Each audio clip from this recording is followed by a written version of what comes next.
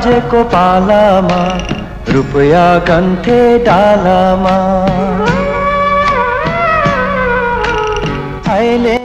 नमस्कार।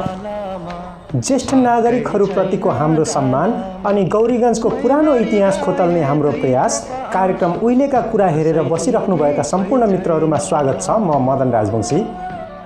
गौरीगञ्ज दर्पण डट कमको विशेष प्रस्तुति कार्यक्रम उहिलेका कुराको यो चौथो श्रृङ्खला हो। यस कार्यक्रममा हामी हरेक हप्ता एकजना ज्येष्ठ नागरिकसँग पुरानो गौरीगञ्जको इतिहासको सेरोफेरोमा रहेर कुराकानी गर्ने गरेका छौँ। आजको कार्यक्रममा हामी गौरीगञ्ज माध्यमिक विद्यालयका भूतपूर्व प्रधानाध्यापक उदयलाल यादवसँग कुराकानी गर्न गइरहेका छौँ। लागौँ एकछिन उहाँको निवासतर्फ। स्वागत छ तपाईँलाई हाम्रो कार्यक्रममा। धन्यवाद। यो तपाईँको बाल्यकाल हुन्छ नि त्यतिखेर गौरीगञ्ज कस्तो थियो? एकचोटि दृश्यमा वर्णन गरिदिनुहुन्छ कि? गौरीगञ्ज भनेको सानो एउटा चाहिँ बजार बिच थियो। हजुर। मैले जानेअनुसार पुरानो सिस्टमको मार्केटिङ थियो। यो बाहिर बाहिर जति चाहिँ बाटो छ हजुर। बाटो राम्रो थिएन। हजुर। चोक कहिले छ भने पाँच बजे छ बजे त्यहाँ मान्छे रहँदैन थियो। चोकमा। चोक भन्ने चिजै थिएन। हजुर। बुझ्नु चो चोक भन्ने चिज थिएन। दक्षिणतिर हो भने राजवंशी टोल थियो। हजुर। उत्तरतिर भने हामी यादव दुई चार घर थियौँ। हजुर। सडकमा चाहिँ नुनियाहरू भन्ने तिनीहरू अलिअलि। थिए महत्त्वहरू। हजुर। अलिअलि थिए अरू केही थिएन। हजुर। त्यो नयाँ नयाँ मात्रै अलिकता चाहिँ सत्र साल भनेको खजुरगाछी हजुर। एउटा नयाँ बजार गौरीगञ्जको सात नम्बर वार्ड। हजुर। राखेर त्यसलाई स्टार्ट गरेको हो। त्यतिखेर सात नम्बर वार्ड पर्छ हजुर। अनि केही थिएन मन्दिर थियो अनि हस्पिटल पुरानो किसिमको थियो र पुस्तकालय थियो त्यति मात्र थियो। खजुरगाछीमा हजुर। अनि नयाँ नयाँ व्यापारीहरू चिया बनाउने यिनीहरू दुई चार घर मात्रै थियो त्यहाँ। हजुर अनि पुल भर्खर भर्खर बनेको थियो। काठको पुल वारिपारि जाने भर्खर भर्खर त्यतिखेर बनेको थियो। हजुर। अनि त्यो बेलामा पुलिस चौकी भनौँ। हजुर। यतापट्टि जुन तपाईँको के अतिथि सदन छ नि हजुर। त्यसको पूर्वपट्टि थियो सानो पुलिस चौकी। फुसको घर। हजुर। फुसको घर थियो। हजुर हजुर। अनि त्यो बेलामा चाहिँ त्यो के भन्छ नेल यो काठको भनौँ न यो त्यसको खुट्टा हालेर हजुर। बस्नु पर्थ्यो। त्यो यस्तो थियो। हजुर। अनि यो बजारमा चाहिँ कस्तो थियो त्यतिखेर? यो जुन दासहरूको अहिले बसोबास छ। पुरानो बसोबास बसोबास थियो। बजारको दिन त निकै ठुलो बजार लाग्थ्यो। हजुर। वरिपरिका चाहिँ हात्ती दुई चार आउँथ्यो बजार बेसाउनलाई। हजुर। त्यस्तो अवस्था थियो त्यहाँ। अनि बिचमा चाहिँ लोकल सब्जी यताउतिको दोकानहरू थियो त्यतिखेर। चारैतिर जुन अहिले छैन व्यापारीहरूको थियो कपडाको भयो लोहाका भए हजुर। अनि चिया पसल दुई चार थियो।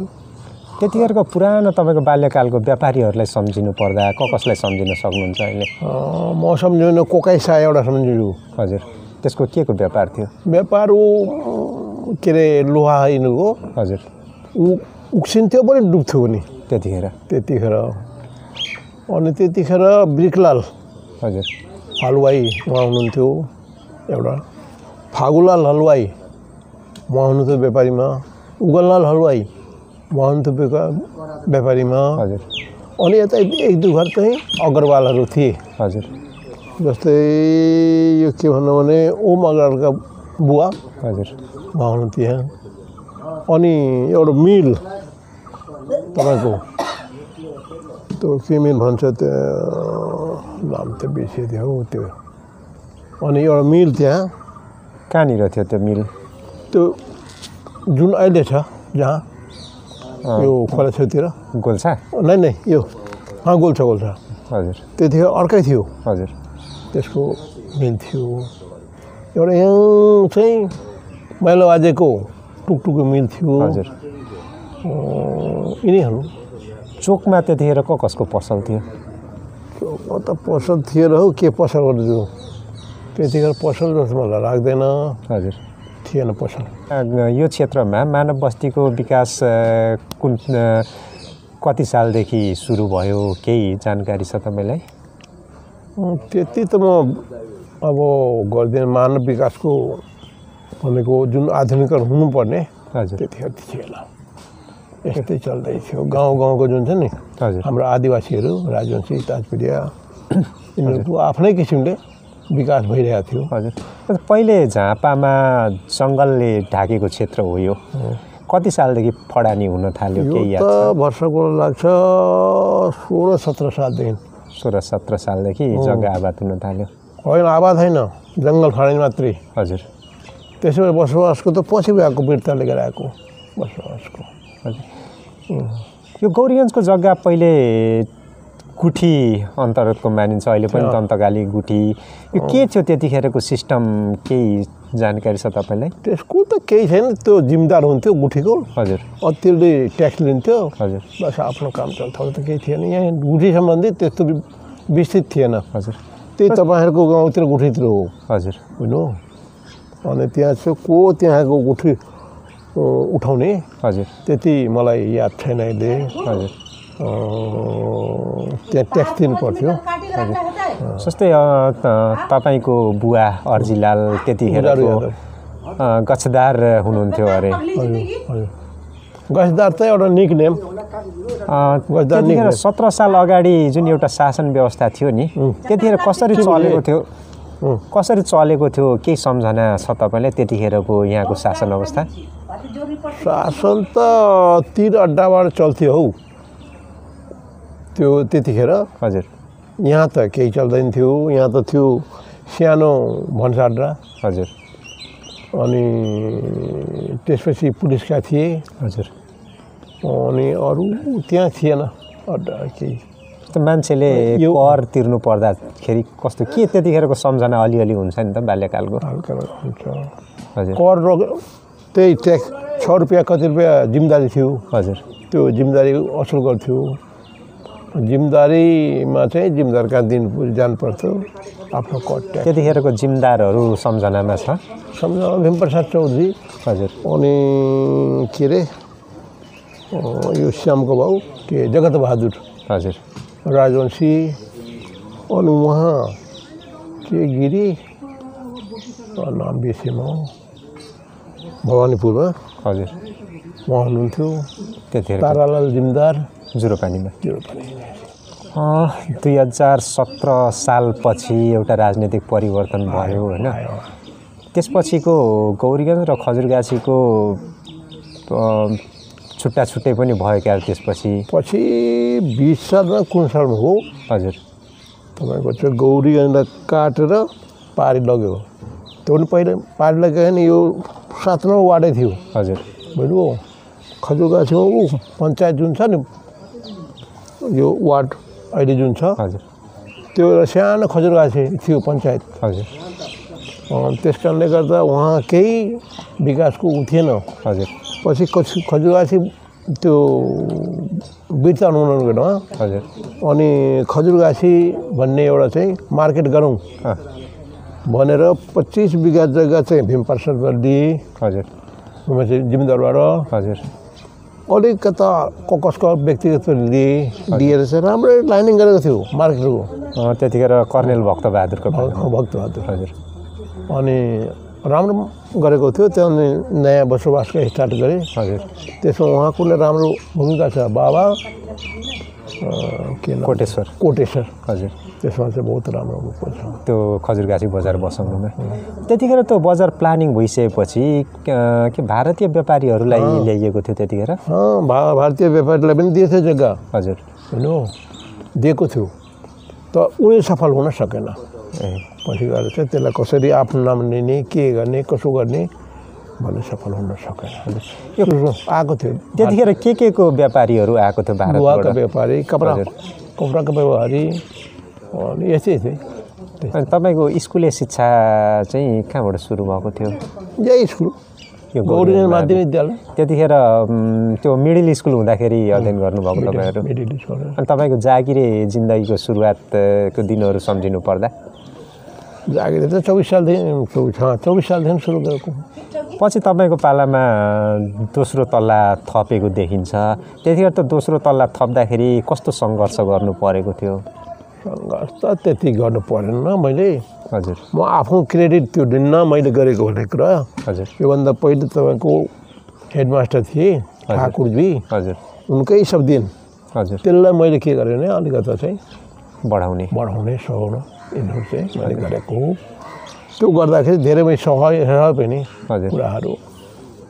कहाँ कहाँबाट आयो के के आयो जाँच यताउति त्यतिखेर विद्यार्थी कति सङ्ख्यामा हुन्थे हाई स्कुलमा विद्यार्थी चौध पन्ध्र सय हुन्थ्यो। चौध पन्ध्र सयसम्म हजारभन्दा तल हुँदैन थियो यो नौ दसको सेक्सन चाहिँ कतिवटा सेक्सनसम्म चल्थ्यो त्यतिखेर? मैले तिनवटासम्म चलाएको। अहिले त अब कतिवटा छ भनेर तिनवटा अडचालिस सालदेखि गौरीगञ्जमा उच्च शिक्षाको पनि गौरीगञ्ज क्याम्पस स्थापना भएको देखिन्छ।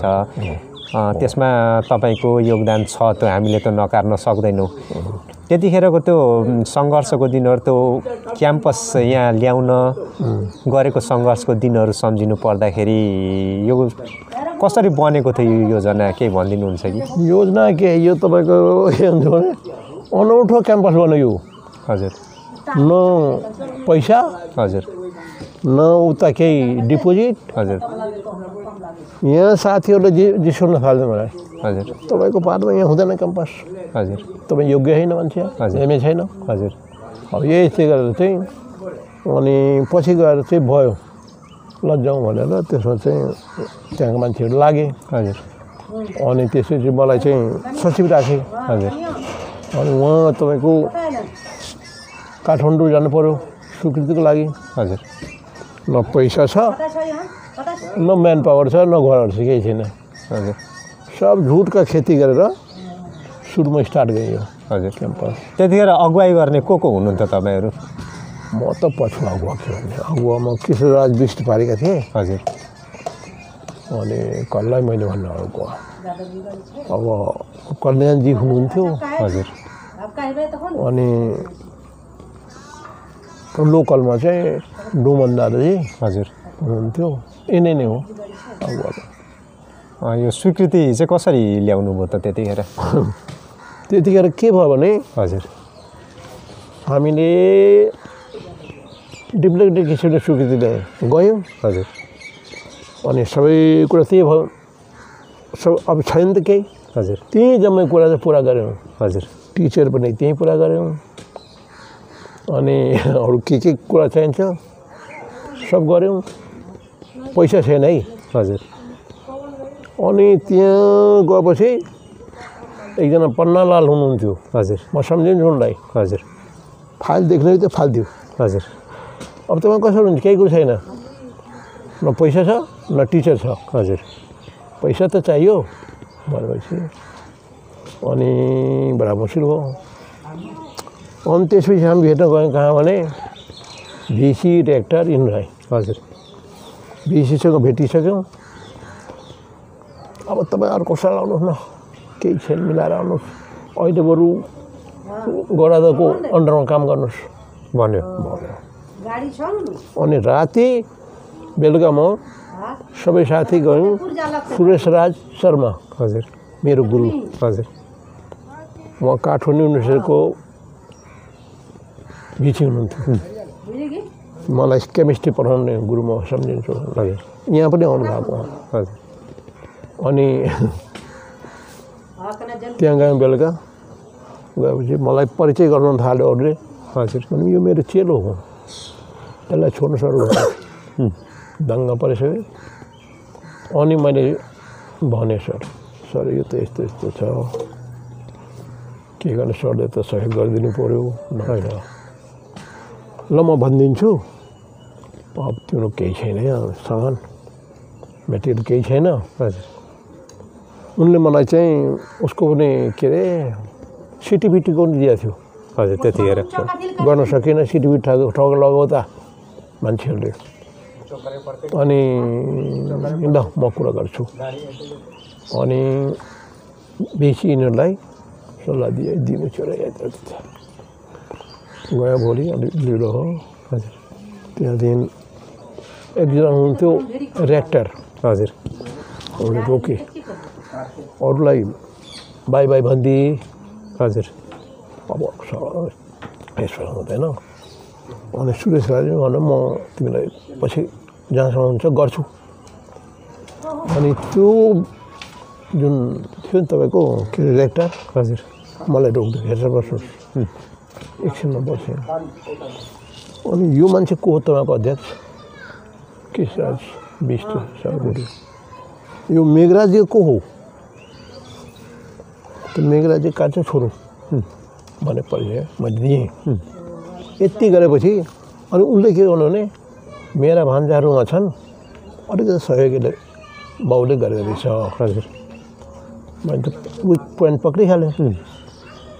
अनि त्यो बिदा लिएर उसले उनले केही भनेन मलाई मलाई आएर चाहिँ हामी क्याम्पस दिउँ सर हजुर हो ए कसरी भन भन् कसरी भाइ कसरी बाप्रे बाप्रे त्यो त ठुलो कुरो गर्यो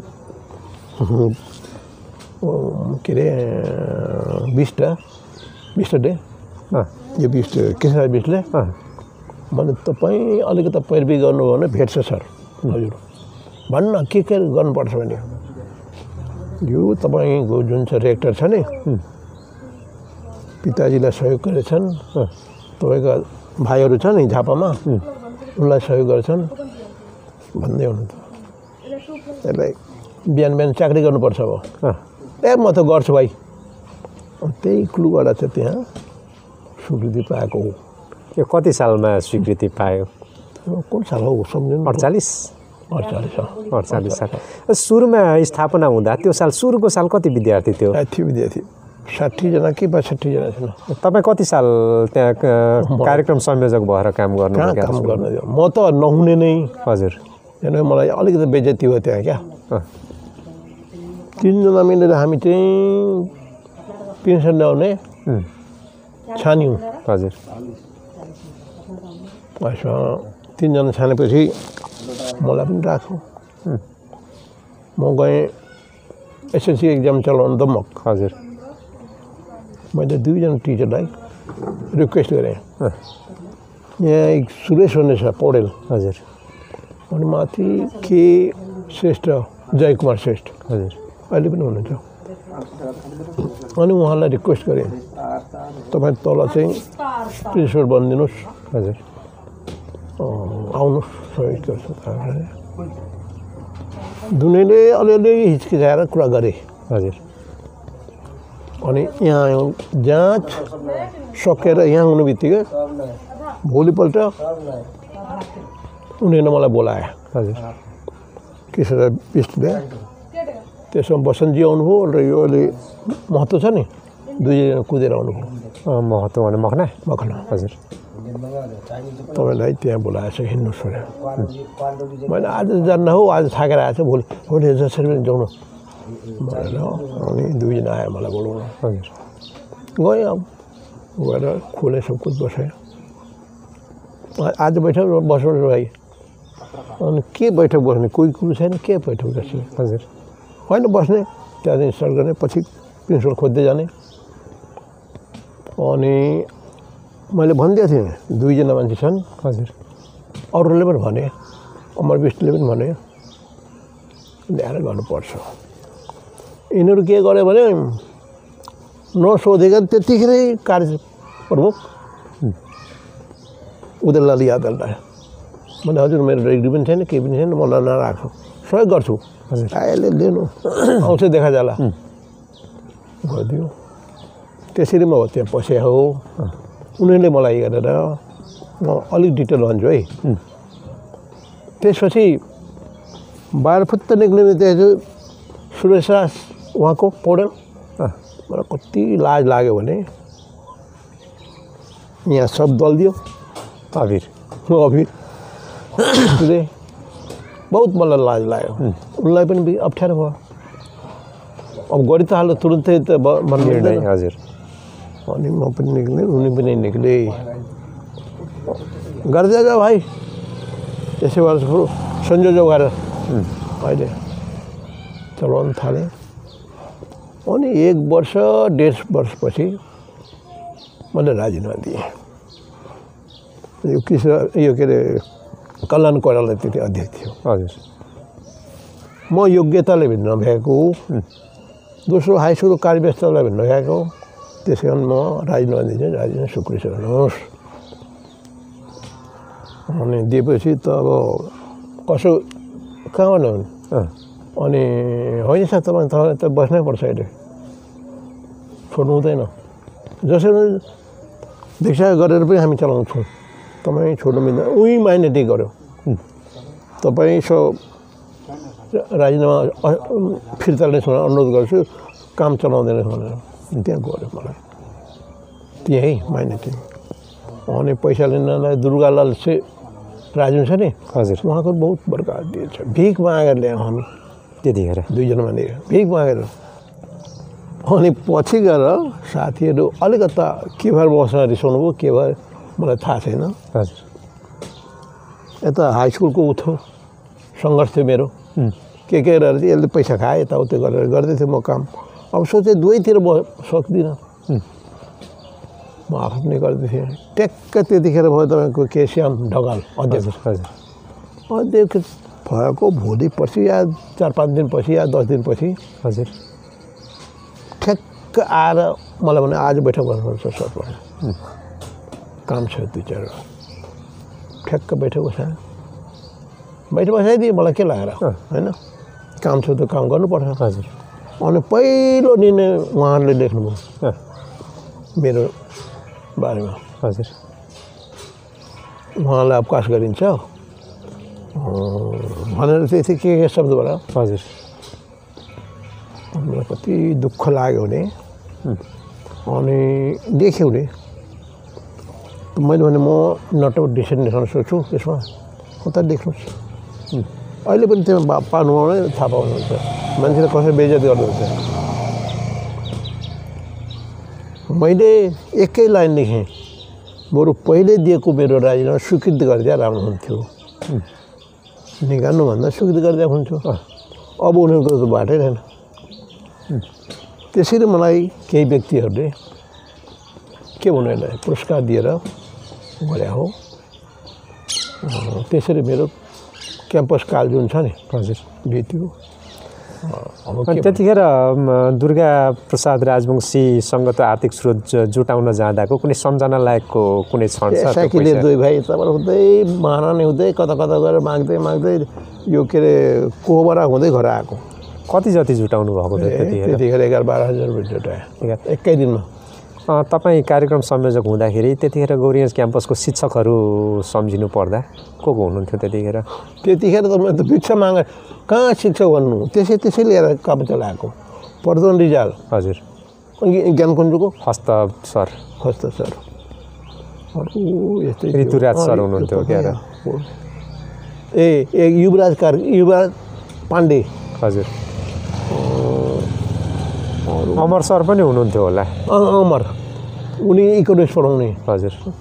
अनि घनश्याम यादव। हजुर। घनश्याम यो इतिहास पढाउने। हजुर।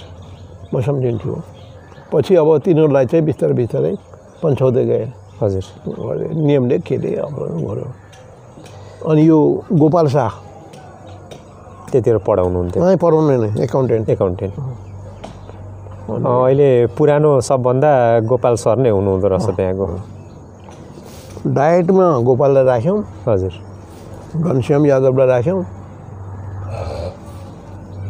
अनि उसलाई त ल्याएँ उहाँबाट ल्याएँ नि गल्डुवाबाट। कसलाई? त्यो खस्रो सर। हस्त सरलाई? इङ्ग्लिस पढाउने टिचर थियो। हजुर। अढाई सय दुई सय रुपियाँ दिएर। त्यो तलब ल महिनामा। बहुत गरौँ त्यसरी भाइ। चलाएको दुःख गरेको साथीहरूले सहयोग गरौँ। तपाईँ कति सालमा रिटायर हुनुभयो यो माविबाट अडसट्ठीमा अडसट्ठीमा चौबिसदेखि अडसट्ठी साल।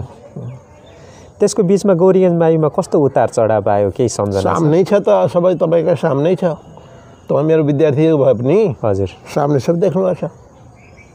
त्यतिखेरको एउटा विद्यार्थी मुभमेन्ट भएको थियो नि सत्ताइस सालमा। त्यसमा तपाईँको भूमिका चाहिँ कस्तो थियो त्यो मुभमेन्टमा? यो थियो वामपन्थी। हजुर। त्यसमा सिपिकी मैनालीजी यहाँ खट्नुभएको थियो। हजुर। त्यसलाई यहाँको मान्छेहरूले पाहाडी मधेसको लगाइदियो नभएको त्यो भएको। त्यतिखेर चुनावी इलेक्सन भएको थियो। यताबाट ने नेभी सङ्घबाट मोहन भण्डारी हुनुहुन्थ्यो क्या र अखिलबाट को हुनुहुन्थ्यो त्यतिखेर? ओके ऊ के अरे पारेको हौ दाल के नाम छ उसको अहिले काठमाडौँ छ मेरो विद्यार्थी हो हजुर नाम सम्झिन सक्नुहुन्न अहिले ज्ञान बहादुर दाल हो उनको छोराको भतिजा हो अहिले पनि पारी उसका मान्छेहरू छन् हजुर हजुर अलिक सम्झिनँ हो मैले त त्यतिखेर तपाईँ यहाँ शिक्षक हुनुहुन्थ्यो त्यतिखेरको घटना सम्झिनु पर्दा कस्तो थियो? एकचोटि अहिलेको पुस्तालाई त थाहा छैन नि त त्यो घटना। बडा विचित्र थियो त्यो। एउटा सानो विद्यार्थी काण्डबाट यो स्टोरी भएको। हजुर। सानो विद्यार्थी काण्डबाट हजुर वर्ल्ड गौरवमा पिटाइ खाएको विद्यार्थी। हजुर। कुन पक्षले पिटाइ पिटाइ खाएको थियो गाल्डुवामा नेभीसँग या अखिल? नेभीसँग नै भन्नु पऱ्यो हजुर। अनि दुईजनाको विद्यार्थी विद्यार्थी त्यहाँ हजुर एउटा मोहन भण्डारी एउटा त्यही विद्यार्थीको नाम आएन त्यही दाहाल धाल हजुर ओखेलपट्टि दाहाल हजुर यतापट्टि मोहन उनको त क्लासमै हुन्थ्यो कति दिन त मैले उसलाई चाहिँ, ए भाइ राजनीति बाहिर गर या नगर हजुर सम्झाएँ के भन्थ्यो कुरो यस्तै हो बजार उता जाँदाखेरि दुई चारजनालाई चाहिँ हाम्रो धर्मनारायण को को को भएको थियो हिँड्नु थियो। हजुर। पिटे चुट्टी अनि त्यहाँदेखि सु गयो अब यिनीहरू पलायन भइहाल्यो यहाँबाट हजुर। बसेन नभएपछि नाम दिइहाल्यो धोती र टोपी त उनीहरू इन्डिया गयो पछि गएर तपाईँको मन्त्रालयमा जाएर अनि त्यो कुरो चाहिँ समय भएर आएको यो गौरीगञ्जको नामाङ्करण सम्बन्धी केही तथ्य तपाईँसँग छ? केही सक्तो मसँग छैन। यति भन्छु जब चाहिँ तपाईँको झापाजाले छुट्यो मोरङबाट हजुर। त्यसपछि उसको हुनुपर्छ है। उसको हेड क्वार्टर दिए देवीगञ्ज गौरीगञ्ज। यसलाई अनुसन्धानमा लानुहोस् तपाईँहरू। झापाको। यो कति सालको कुरो हो? मेरो बाल्यकालको सु सुरुमा जब मोरङबाट झापा छुट्यो हजुर। त सुरु यहीँ हुनुपर्छ। देवीगञ्ज देवीगञ्ज धेरै कुरा छन् त्यो त? देवीगञ्जमा टक्सालका यी छन्। हजुर। सुब्बा सुब्बा टोल सुभाष बसेको। अनि यो टक्सार त्यहाँ छँदैछ। हजुर। नाम। अनि यो कप्तानबारी हजुर। क्याप्टेन बस्ने। ठाउँ छँदैछ। यी सबले गर्दा मैले चाहिँ केमा पऱ्यो भने यहाँ झापा हुनुपर्छ। यो गौरगञ्ज हजुर। पहिलो। हजुर। त्यसपछि गयो झापा त्यसपछि भद्रपुर अनि चन्द्रगढी यो गौरीगञ्ज अन्तर्गत त्यतिखेर कुन कुन क्षेत्र पर्थ्यो? छवटा। कुन कुन? एउटा गौरीगञ्ज। हजुर। एउटा खजुरगाछी। एउटा महादेव। हजुर। एउटा कोरवारी। हजुर। को कोबरा हजुर। एउटा यो होला हौ। जुरोपानी? जुरुपानी। त्यतिबाट यी यिनीहरू गौरीगञ्जबाट यिनीहरू छुट्टियो सम्झना छ त कति सालमा छुट्टियो? यो त कुनै यो सम्झना छ नि किन छैन याद हुँदैन त्यतिखेर तपाईँको चाहिँ प्रधान पञ्च कप्तान ए बहादुर ढुङ्गानाको टाइममा हुनुपर्छ सत्र साल अगाडिको पछाडिको कुरो हो यो। यो सत्र साल पछि कुरो सत्र साल पछिको। यो लालडिगीको नाम लालडिगी चाहिँ कसरी रह्यो? त्यो पनि ऐतिहासिक ठाउँ अन्तर लालडिगी। ए हो नि। के थियो त्यहाँ पहिला? पहिला त ठुलो यो थियो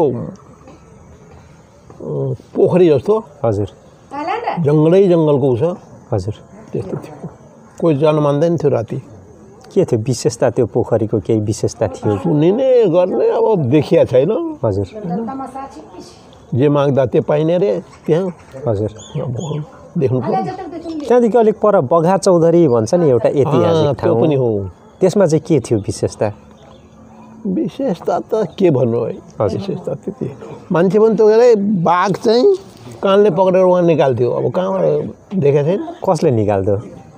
त्यही धामी झाँक्रीहरू। हजुर। त्यहाँ जङ्गल थियो पहिला? अलिअलि त हामीले देखेको छैनौँ अनि त महाराज त्यो जङ्गल हुँदैखेरि त्यहाँ त्यो बगा चौधरी थियो महाराज? थियो थियो त्यो हामी हेरेको बच्चा अनि अर्को एउटा ऐतिहासिक ठाउँ यता पश्चिम फेला पर्छ हाम्रो चिलारा चिल्ला राई हजुर। चिल्ला राईको राज- राज्य हो। हजुर। चिल्ला राई त्यहाँको चिल्ला राईको केही थियो त्यहाँ? उसको त ब्याकअप केही छैन। यहाँ चिल्ला राई उता तपाईँको के भन्छ भदपुरदेखि दक्षिणपट्टि। किचकपत? अँ किचकबद यता चिल्ला राईको राज्य थियो। उम्, किचकबदको रा किचक राजाको राज्य थियो यता चिल्ला राईको चिल्ला राईको यहाँबाट राज्य सञ्चालन भएको थियो। अनि यो हुलाकी राजमार्गको इतिहास खोतल्नु पर्दाखेरि? भाइ त्यो के छ भने नि अब मान्दैन मान्छेहरू कुरा गर्नलाई हजुर। यो बाटो पहिले हजुर। के भन्थ्यो भने डुम्रा रजिया रजिया सडक। हजुर। यो सडकको नाम हो रजिया सडक हजुर पहिले तपाईँ चौबिस चौबिस सालदेखि पहिले हजुर होइन पछि यो चौबिस चौबिस सालमा तपाईँको चाहिँ हुलाकी चल्न थाल्यो नि हजुर अनि चौबिस सालमा यसलाई चाहिँ हुलाकी राज्य भनेर नामाङ्करण गरियो यो रजिया सडक चाहिँ किन भनिन्थ्यो त्यसलाई किन त्यसको इतिहास मैले पढेको छैन तर एउटै कुरो मलाई थाहा छ हजुर बनारसबाट रजिया बेगम हजुर उम्, के आसामसम्म हजुर जाने बाटो यो त्यतिखेर बनाइएको उता पारी छ डुम्रा सडक टुम्रा सडक भनेको कुन हो यो फुलोरियादेखि दक्षिणपट्टि पर्छ भारतमा भारतमा हजुर हजुर डुम्रा अद्यपि छँदैछ हजुर अनि त्यहाँबाट चाहिँ डोम सरकार त तपाईँको चाहिँ हजुर आसामसम्म जाने अरे हजुर हामीले सुनेको है हजुर त्यस कारण यही हो इतिहास त्यसको दिन सकिँदैन कहाँबाट दियौँ? पछि भनेको डुम्रा सडक रहेर हजुर। यो जुन हुलाकी सडकमा परिणत भयो। परिणत। हजुर। हाम्रो कार्यक्रमको निर्धारित समय पनि समाप्त भइसकेको छ। अस्वस्थताको बावजुद पनि हामीलाई समय दिनुभयो। त्यसको लागि तपाईँलाई धेरै धेरै धन्यवाद। यहाँ आएर चाहिँ एउटा बिमारी मान्छे एउटा चाहिँ म चाहिँ सानो मान्छे भनौँ न के ठुलो मान्छे तपाईँले आएर लिनुभयो। मेरो त अहोभाग्य हो धन्यवाद तपाईँहरूको पेसा राम्रो होस् यतिमा भन्छु ल सर धन्यवाद मित्रहरू आजको यो कार्यक्रम तपाईँहरूलाई कस्तो लाग्यो कमेन्ट बक्समा आफ्नो सल्लाह र सुझाव लेख्न नभुल्नुहोला अर्को हप्ता पुनः हामी एकजना ज्येष्ठ नागरिकलाई लिएर पुनः यस कार्यक्रममा उपस्थित हुनेछौँ तबसम्मको लागि म कार्यक्रम प्रस्तुता मदन राजवंशीलाई बिदा दिनुहोस् नमस्ते